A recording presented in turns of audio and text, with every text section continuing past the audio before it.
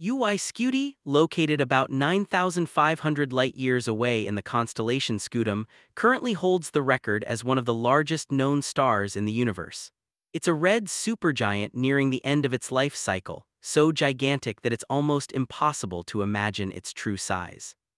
Diameter comparison. UY Scuti's diameter is estimated to be about 2.4 billion kilometers 1 700 times the diameter of the Sun.